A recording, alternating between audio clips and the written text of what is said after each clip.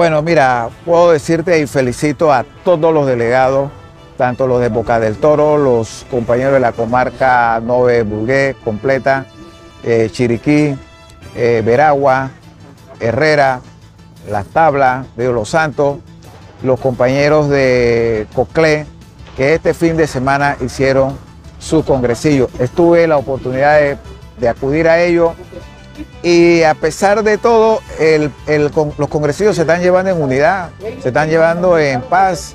Los compañeros compiten, pero no son enemigos y lo han entendido así.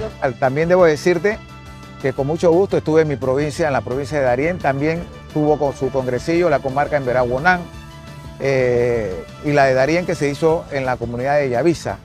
También se hizo en la comunidad de Chepo, es decir, una simultaneidad que afecta sin lugar a duda a aquellos que aspiramos y que nos tenemos que movilizar por nuestros propios eh, medios y sin mayores ventajas de ninguna índole. Pero eh, nosotros hemos, hemos dicho que, como dice el general Torrijos, el que se aflige se afloja.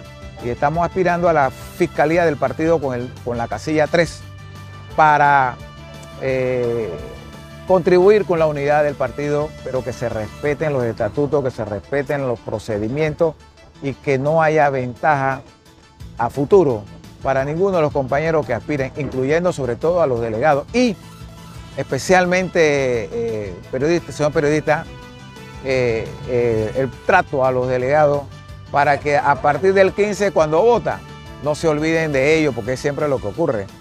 Después que usted vota, se olvidan de usted y se acuerdan nuevamente cinco años después, pero única y exclusivamente con los nuevos. De manera que los actuales delegados esperemos que entiendan eso y escojan un fiscal amigo, un fiscal que los va a defender y un fiscal que no tiene temor en la defensa de los miembros del PRD. Escuchamos la entrevista del presidente actual del partido. Debo decirte que él destacó algo que quedó en evidencia. Él destacó que el consenso, en el consenso en el partido era eh, la figura del vicepresidente Gabriel Carrizo. También destacó que esa figura para él sigue siendo el consenso, aunque no esté participando en el, en el Congreso como candidato. Y el tiempo está definiendo que fue una decisión salomónica, fue una decisión que permite establecer un balance entre las distintas corrientes políticas que están en el partido compitiendo por los, cargos de presidente y secretario general. ¿ya? Eh, ese balance y la no presencia como candidato del, del vicepresidente y colega abogado Gabriel Carrizo eh, demuestra la madurez que hubo, demuestra que el PRD como partido va a definir quién lo va a dirigir pero va a mantenerse como un puño cerrado para el 2024.